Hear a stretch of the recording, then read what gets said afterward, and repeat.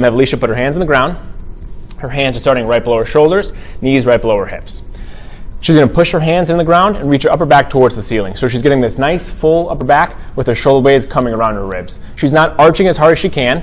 So go ahead and arch as hard as you can there. Good. Where she's getting a shrug, looking like a turtle, feeling a lot of abs working. She's just pushing her hands in the ground, again, getting that full, nice upper back. She's keeping her shoulders away from her ears, not using a lot of upper trap.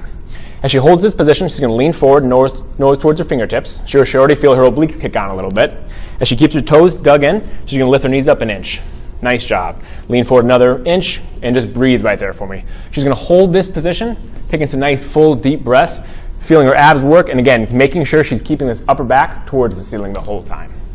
One of the ways that people will often uh, screw up this exercise is to let their chest sink towards the ground and get a really hard arch in their whole back where I can then grab their shoulder blades. Again, the goal is to make sure that this stays towards the ceiling so I can't grab your shoulder blades when you're doing this exercise.